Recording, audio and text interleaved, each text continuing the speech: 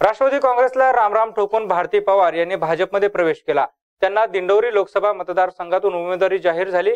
आमचे प्रतिनिधी अमोल जाधव यांनी त्यांच्याशी बातचीत केली आहे. पाहूयात.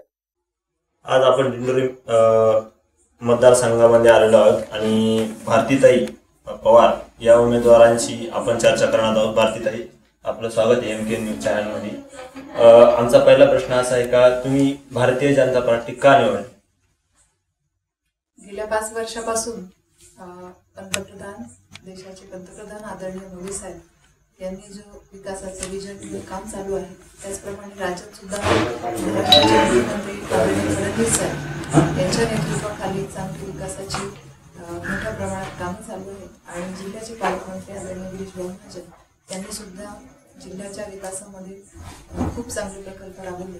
या विकासानेच प्रेरित होऊन मी सुद्धा ह्या पक्षामध्ये प्रवेश घेतला. आणि माझे सासरे कैलासवासी ए टी पवार साहेब हे सुद्धा दहा वर्ष बी जे पीमध्ये आमदार म्हणून सुद्धा काम केलं होतं. आणि त्यांना युती शासनाच्या काळात आदिवासी विकास मंत्री म्हणून काम करण्याची संधी सुद्धा मिळाली होती. त्यांच्या माध्यमातून या मतदारसंघामध्ये राज्यामध्ये खूप चांगल्या प्रकारची विकास कामं झालेली आहेत.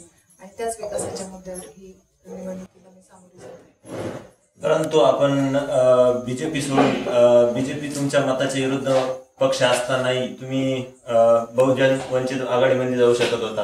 विरोध अपक्ष लढू शकत होता. परंतु का निवडायचा? तुम्ही का पर्याय निवडला? काय कारण? आज आपल्या देशाला एक दहशतवादाचं ग्रहण लागलेलं आहे. देश एका अवघड संकटातनं अवघड परिस्थितीतनं जातोय तर संकटाला सामोरं जात आहे.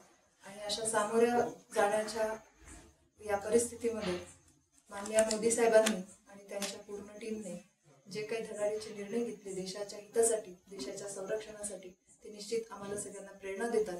आणि याच प्रेरणेतनं आम्हाला सुद्धा ह्या मुद्द्यावरच आदरणीय मोदी साहेबांना त्यांचे त्यांना एक पाठबळ द्यायचं आहे आणि त्यांचे हात बळकट करण्यासाठी मी हा पक्ष निवडला. आणि विकासाचंच विजन असणारा हा पक्ष आहे.